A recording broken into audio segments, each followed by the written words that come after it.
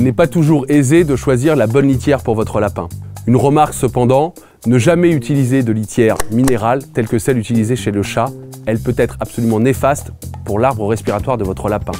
Vous utiliserez donc une litière végétale, le rafle de maïs, le chanvre, les copeaux de bois. Certaines litières présentent comme particularité de générer beaucoup de poussière. Ne jamais les utiliser. Dernière remarque enfin, attention, certains lapins peuvent trouver cette litière à leur goût. Il convient dans ces cas-là d'en changer afin que l'animal n'en ingère pas trop.